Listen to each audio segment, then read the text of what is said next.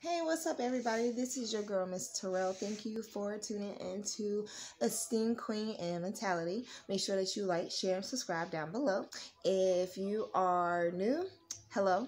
If you are returning, hello. Everyone is treated the same and equal. So, really quick, I gotta run out, but I want to have a quick, quick chat, right? And I'm gonna be as transparent as possible when I tell this story has a really good ending. So, this girl meets this guy, and they just magnetically attracted to each other.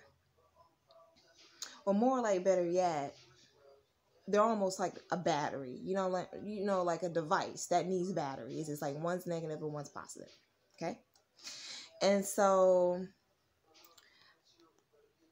for for a, a time once upon a time they were together. But just like anything that needs a battery it begins to weaken. And so eventually lights out and the device does not work or it just it just doesn't work right? So let's put all of that the battery aspect of this thing into the mind into the mindset or the perspective of a relationship so sorry, I'm getting text messages at the same time. So, so okay, I was in this relationship that was like a battery. Um, it had a positive side and a negative side. And ultimately, just like any battery, it runs out of energy, it runs out of juice. So, um, you find yourself in a place of how are you how are you going to take care of the situation? Are you going to recharge it, go through the same thing, knowing that it's going to die quicker, or you going to just get a whole new set of batteries for the uh, for the device that you're trying to use. So parallel that to life. In life, you're going to meet people that are going to be positive and you're going to meet people that are negative. Either way you look at it, um, I think it's um, it all depends on your strength as to what you're able to tolerate for a long period of time. Which brings me to what I want to talk about happiness. Um, happiness is a very tricky thing to talk about because it's man made, but it's the only thing that's man made that is also curable by the same hands and the same mind that made it.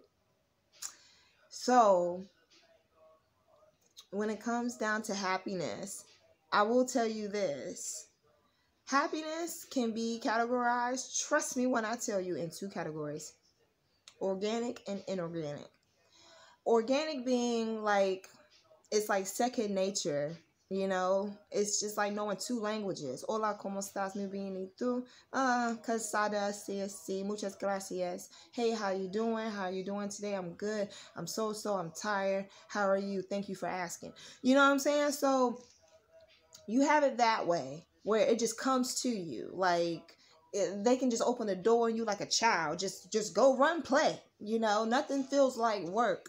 And then you have inorganic which isn't bad but it's a thing of you know you either had to learn by trial tribulation or just experience or or better yet um i want to say experience because eventually it becomes a skill.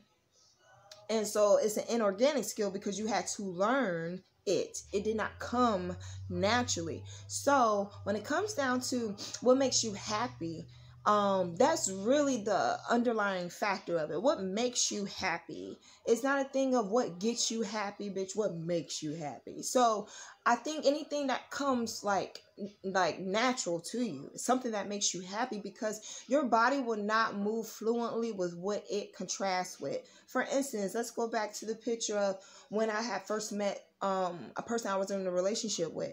You got to understand magnets um, attract. It has to be a positive side and a negative side, just like a battery.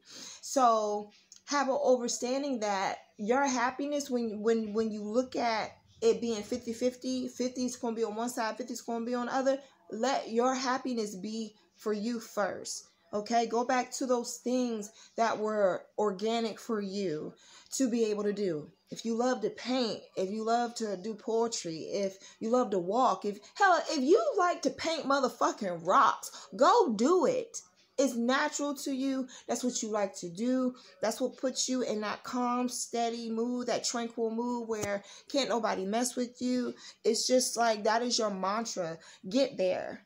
Get there. When you get there, but you keep in mind people are going to try to knock you off your rocker, that's going to put you in complete and straight up bliss because you're going to know what to let go of and you're going to keep what keeps you in peace. So, know what naturally is a passion for you. Oh, I didn't mean to growl. Damn, I must really meant that. Okay.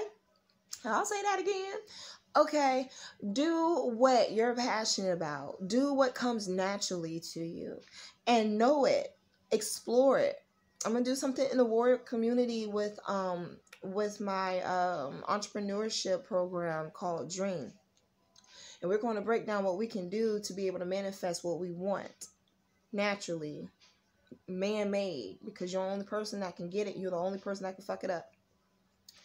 And um the other thing that I learned about happiness is that when I take it off of it being 50 50 in vain of someone else making me upset and taking away from my happiness, you know, I've learned that when you put some of your happiness into someone else, you nine times out of 10 still end up disappointed.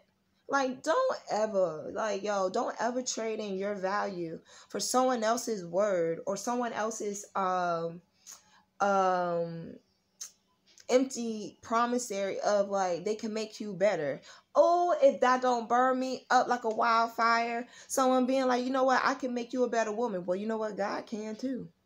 And I don't see him. I believe in him. So so you telling me what you gonna make me into? No, you gonna make me into a walking headache. And that's gonna bother my motherfucking happiness. So you might want to keep it pushing. You know, sometimes it's cool for you to be that person to tell them to get an Altoid and kick it. It's cool. It helps you discover your happiness and continue to do what makes you happy. Um, be around positivity. I've learned that that has helped me a lot. Like, I didn't know how supportive the circle I was in was until I got rid of everything or everybody that was like a battery where my happiness was 50% on them because I was already on the negative side of not having a full 100 to be able to keep a 100 with myself to say, yo, Miss Terrell, you do not need other people to make you happy. If you were born into this world by yourself as one person, to be able to discover it for you. That's just like someone saying, well, if I were you, this will be what I'll do. No, you can't. You can't tell me what you'll do if you're me because you don't have my happiness. You're not trying to achieve my level of happiness. So, what you can do for me is do not be that person that is on the plus side of the battery, knowing that I'm already being drained. So, at this point, when it comes to your happiness and what I've learned that really helped me with my happiness is when you on 50%, what are you going to do? Are you going to recharge your battery, call them same people back over to have wine and cheese and paint and sip night, and they sit here and tell you about all their messed up problems, but how they can halfway fix them, but tell you how you how you can fully cure your situation?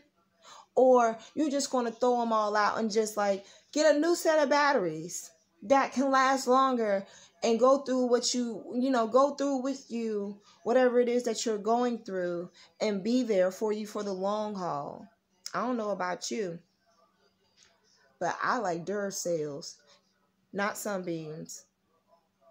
So when you have that type of circle around you, oh, let me tell you something about how God works, especially if they believe in God too. Oh, let me tell you how the Lord works. Your friend get a car, don't be mad at them. Get excited because that means the Lord can just reach out, touch you and you could be next. How you think people in line trying to buy lottery tickets feel? They see all them little tickets up on the wall. Oh snap, I'm about to get me some. Yes. Be that way. And you'll find within your happiness, it's gonna be so genuine. It's just gonna be like you're gonna wake up and just start giving devotionals to random ass strangers. Like, you know what? There is no star in the sky that shines as bright as you do. And it's true. So make sure that you go down below, like, share, and subscribe. Make sure you tell everyone about this channel, Esteemed Queen and Mentality. Hit us up on Twitter, Facebook, all of our merchandise. Hit it, go to the website, and also check out our devotionals and our positivity giveaway. I will see you all soon.